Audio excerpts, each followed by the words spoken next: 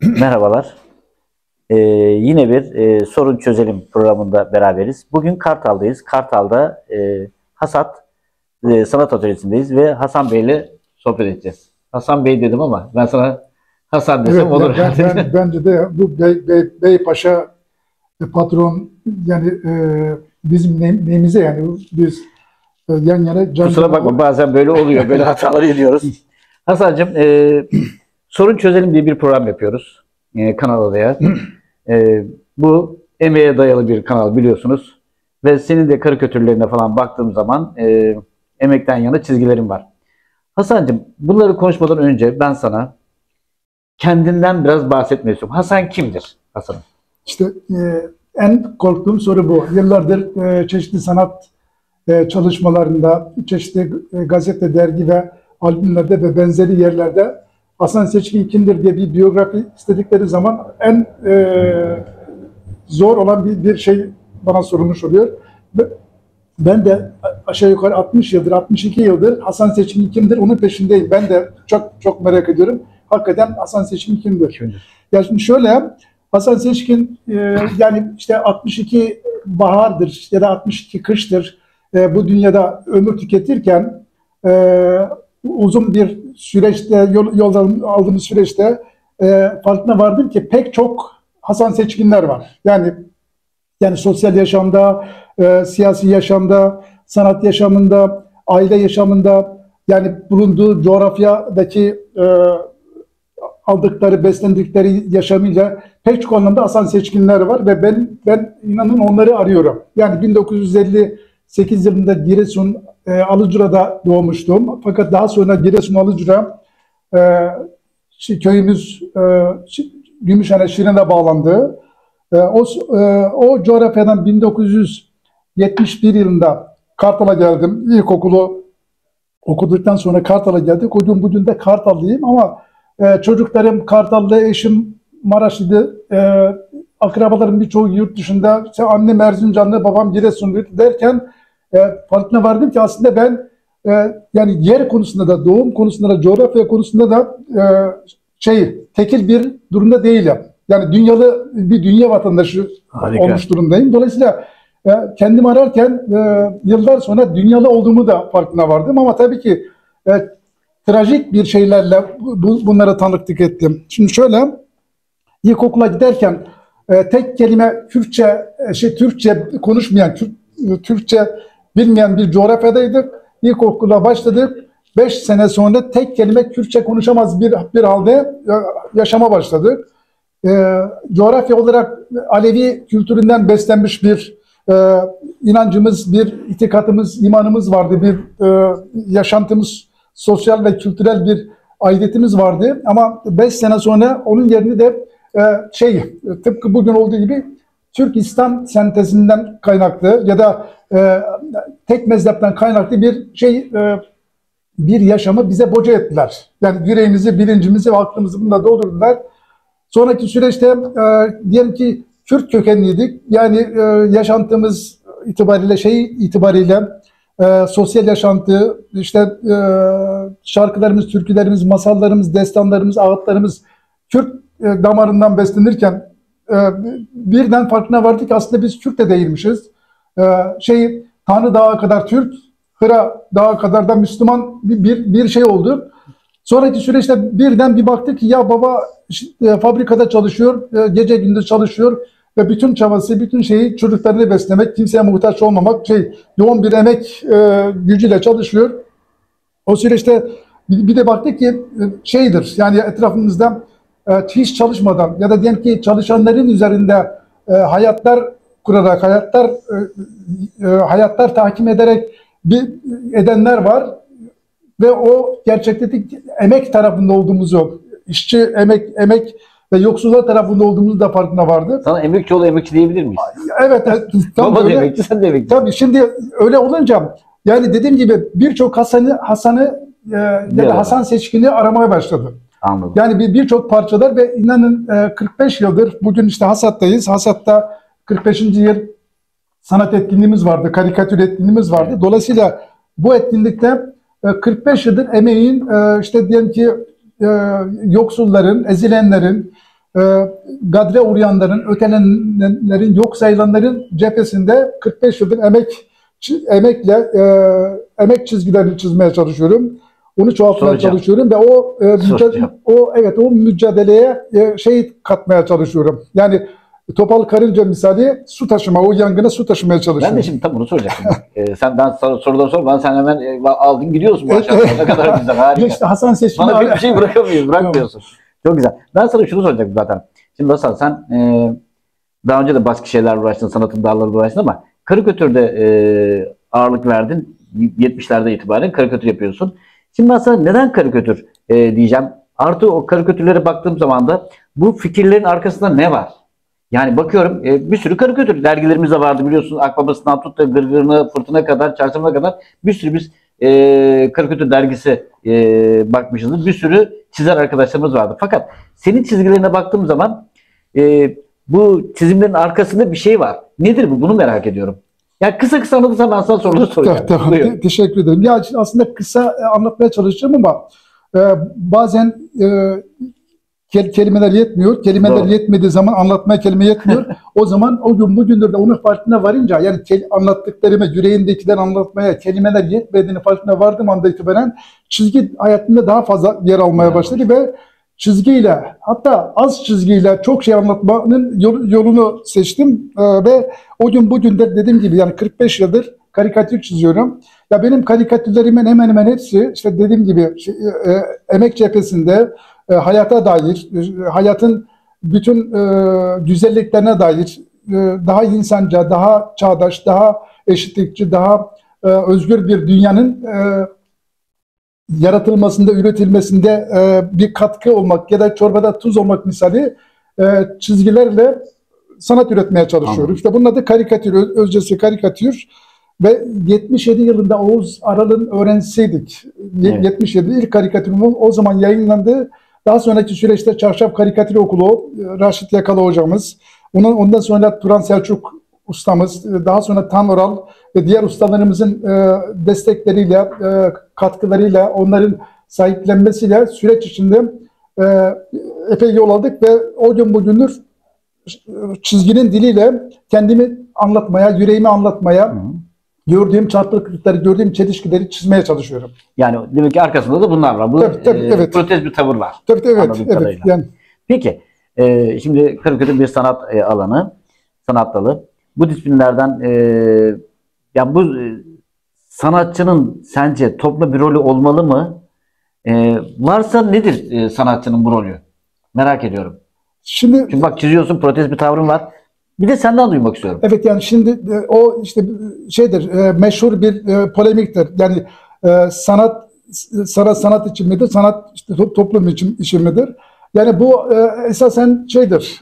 bu so, sonraları yani e, yani bir anlamda manipüle edilmiş, yönlendirilmiş bir soru. Yani e, sanat yaşamın iz düşümüdür. Yani ben biz bir sanatçının bütün üretimleri, bütün şeyleri onun yaşantısının iz düşümüdür. Ve şey sakallı usta şey demişti. Yani bir insan kulübede e, yaşayan başka düşünür, sarayda yaşayan başka düşünür. Dolayısıyla sanat da hayatın içinde, hayatın e, yani e, hayatta ve toplumda ve yaş- yaşarken aldıklarımız, sindirdiklerimiz, beslendiklerimizle beraber e, yani bizim aldıklarımızı dışarıya vermenin de bir biçimidir, yansımasıdır. Dolayısıyla sanat şeydir, elbette ki toplum içindir e, ve şeydir, e, bu anlamda halka, topluma e, yani daha iyi şeyler, daha yaşanılır, daha iyi bir dünya, daha özgür bir dünyanın çabası ve uğraşısı içindir. Onun dışındaki sanat zaten e. Zanaattır diyorsun. Peki, gerçek hayatta senin bu karikatürlerini yaparken sana ilham veren ve unutamadığın bir şey var mı? E, Bir olay, bir kişi. Ya e, şimdi şöyle karikatür bana e, hayata çok farklı bakmayı öğretti. Daha sonraki süreçte tabii fotoğrafla tanıştım. Daha sonraki süreçte e, yani liseden ve lise sonrasında kalemle, kalemin e, gücüyle tanıştım. Cümleler kurdum. İşte şiirle aşırı neşir oldum. Bunları ama çizgi e, çizgi dili, karikatür dili beni çok zenginleştirdi ve hayata her baktığımda hayattaki bütün çelişkileri, bütün e, dramları, olum, olumlu ya da olumsuzlukları, kısayla e, kısayla uzunun, işte şişmanla zayıfın, işte diyelim ki e, işte uzaktakiyle yakındakinin çelişkisini e, çok net ve çok daha bariz gördüm. Yani o öyle bir şey ki baktığım birçok şeyde ya kimsenin belki de göremediği şeyler zaten biraz çizerlik ya da yazarlık biraz böyle bir şey. Sanatçılık da böyle bir şey. Kimsenin göremediği şeyleri görmenin farkına varmaktır. Dolayısıyla karikatürde hakikaten bazen öyle şeyler yaşadım ki daha sonra buradan çıkardığım karikatürler ciddi anlamda şeydir. Ciddi anlamda e, yani kalıcı izleri bırakmıştır. Bir gün işte Pendik Lisesi'nden e, işte liseye gidiyorum. Liseye giderken bizim e, bahsettiğim 76'lı, 77, 78'li yıllar. O zaman tabii bu kadar yoğun bir kent ve yoğun bir gürültü ya da yoğun bir kirlilik ya da yoğun e, bir ortam yoktu. Uzakta şey gördüm. Yani kaz şeyle bir hemşerimi gördüm. Hemşerim kazmayla bir yere gidiyordu. Yani şey muhtemel ki ya bahçeyi kazmaya ya da inşaatta çalışmaya gidiyor. Ama onun da bi- biraz ilerisinde oldukça şişman bir vatandaş geliyordu. Şimdi bu birisinin kazmayla yani e, kazmayla şeye gitmesi, işte işe gitmesi ama peşindekinin de şişman bir şeyle çekmesi birden bana şeyi çağrıştırdı. Yani e, kazma kürekle çalışmaya gidenlerin peşinde e, şişmanlar onların ürettiklerini, onların emeklerini e, almak için, gasp etmek için peşinden gidiyorlar. Ve ben işte o an kafamda şeydi hani bir ilham gelir denir ya. Evet. O an ilham geldi ve ben şey yaptım. Yani e, kazma kürek birkaç tane yoksul, birkaç tane zayıf insan gidiyor. Peşinden de bir tanesi şey kazma kürek büyüklüğünde çatal kaşıkla peşinden gidiyor. Ve bu karikatür yurt dışında İtalya'da bunu çizdim ve ödül aldım. Harika. Ya dünyada ilk katıldığım uluslararası bir yarışmaydı. Ve bu Ödülle sonuçlandı. ödülle sonuçlandı ve beni oraya çağırdılar. O sırada inşaatlarda çalışıyordum. Evet. Yurt dışına çağırdılar. Yurt dışında inşaatta çalışıyordum. Gitmek mümkün değildi. Milliyet gazetesi yarım sayfa manşet atmıştı. İnşaat işçisi işte ödül için İta- İtalya'ya gidemiyor. Şimdi o hakikaten çok etkileyici ve güzel bir şeydi ve daha sonra o çalışma çok zenginleşti ve çeşitlendi ve daha sonra dünyanın en uzun karikatürü oldu. 120 metre Şimdi uzunluğunda onu soracağım. 120 Bak, diyorum, bak hemen atlıyorsun. Şimdi böyle uzun bir karikatürüm vardı. Ben onu biliyorum. Ee, şimdi soracağım soruda e, bunu akabinde gelecek olan bir şey. Böyle projede imza atıyorsun. Bu da çok dikkat çekmişti. Ee, ben hayalinde gerçekleştiremediğin bir sanat projen var mı kafanda? Yani hiç olmazsa şimdi bir teaser yaparsın, bir e, ön e, bilgi verirsin bize varsa. Ya aslında e, esasen çok çok büyük bir projem var ama bu büyük proje Evet. benim projem değil. Bu yine Anladım. sakallılardan birisi demişti ki dünyada yani emek sömürüsü bittiği zaman yani e, şey işte bu insanların ihtiyaçlarına göre ve yeteneklerine göre çalıştıkları, kazandıkları, yaşadıkları bir dünya olduğu zaman bu o zaman herkes sanatçı olacak demişti. Ya benim de en büyük ütopyam her şey, herkes sanatçı olsun, herkes şair olsun, herkes ressam olsun, herkes karikatürcü olsun, herkes şiirler yazsın, herkes ciddi anlamda hani e, yani Böyle bir üretebildikleri- var böyle bir ütopyam var ve bu ütopya ne zaman olur bilmiyorum ama bütün enerji ve bütün gücümle böyle bir ütopyaya ya şey Evet. olanak sağlamak ve hasat da biraz bunun sonucunda oldu. Yani e, istedik ki hasatla Kartal'da ki e, dostlarımız, arkadaşlarımız sanat e, çabasında olan hatta sanatla daha henüz tanışmamış fakat sanat tüketen e, arkadaşlar bir şekilde bizimle beraber ya da bizim bu ortamımızda ya da e, bizim de onlardan öğreneceğimiz şekilde herkes san- sanata bulasın, herkes sanatçı olsun. Böyle bir çabanın içindeyiz. Yani Evet. e, bu e, bu konu bunun gerçekleşmesi için yoğun çaba sarf ediyoruz. Şimdi e, çok güzel bir girişim. E, takdir ediyorum size. Ben Maltepe'den e, takip ediyorum devamlı. Şimdi bunun başka problemleri de var. Şimdi bir e, atölye açtınız. Burada e, çok fazla çok fazla değil mi? Yani gelir olmayan bir yer burası. Şimdi şunu düşünüyor musunuz? Sanat, sanatın finanse edilebilmesini, edilebilir mi? Edilmeli mi? Bu konuda bir fikriniz var mı?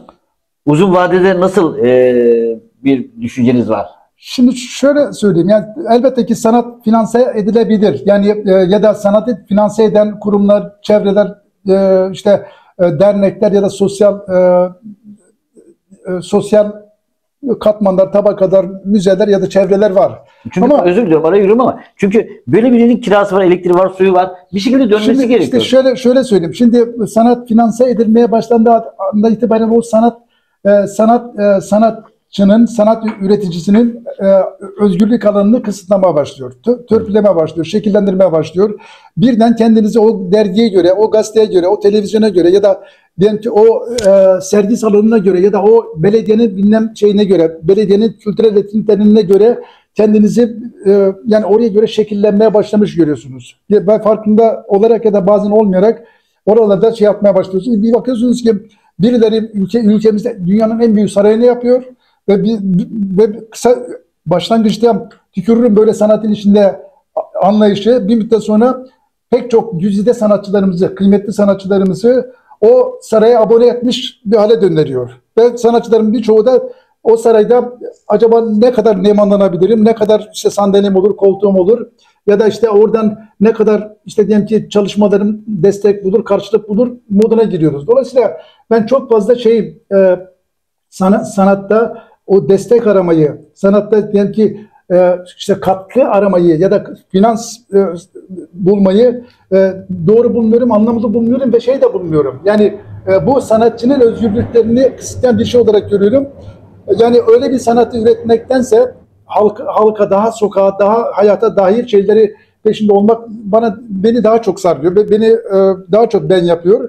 Dolayısıyla o, o noktada e, hasatın tabii ki bir sürü sıkıntıları var. Ama hasat bir e, şu anda bir süreçtir, devam edecek bir süreçtir.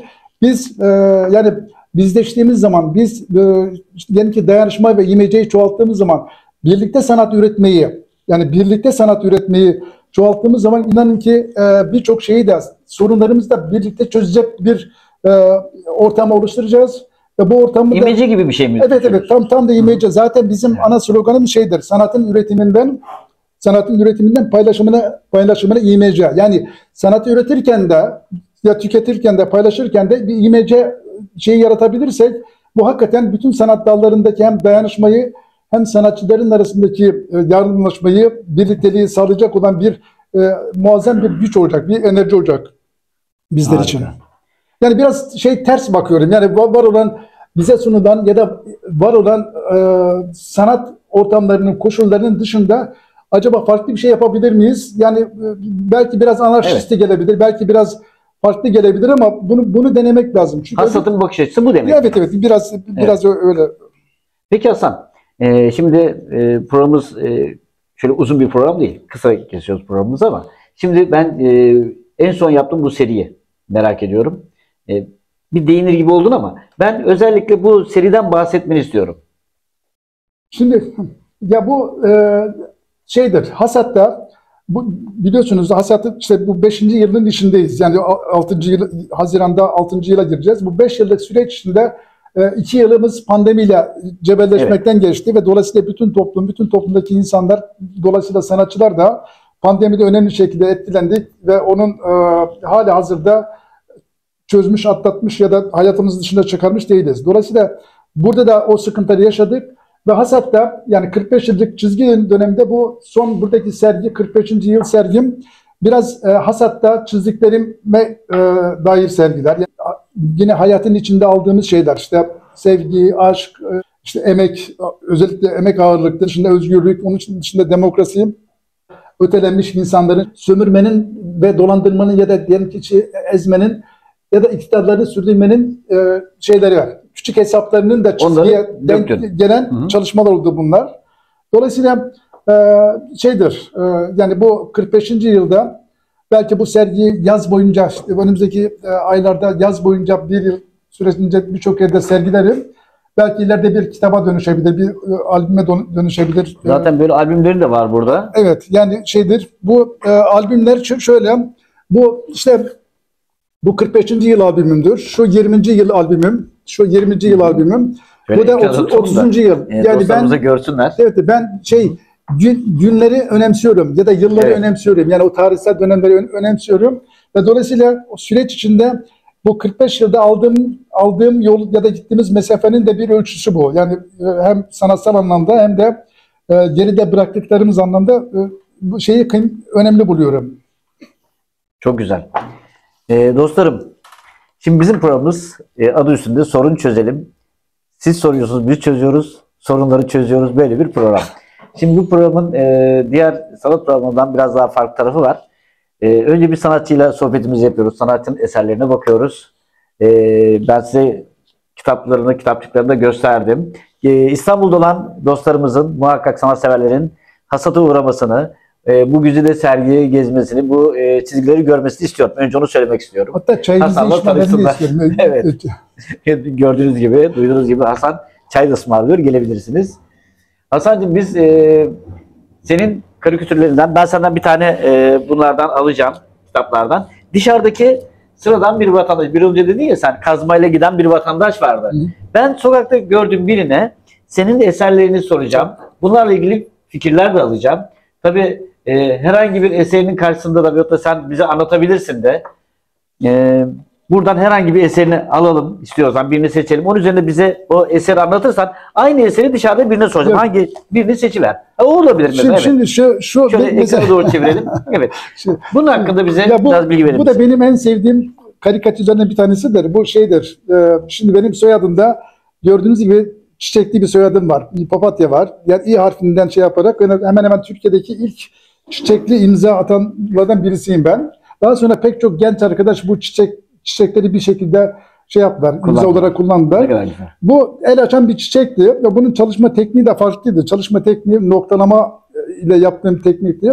Fakat yaşamımızda bugün öyle bir nokta geldi ki şimdi bize 150 sunan, bize diyelim ki e, çiçekler sunan, bize diyelim ki e, işte sevgiyi sunan, işte paylaşmayı, bölüşmeyi, ortaklaşmayı sunan eller, elleri biz ne yazık ki onların ne kıymetini biliyoruz ne de onları e, yaşamda onlara e, değer veriyoruz, kadir kıymet biçiyoruz.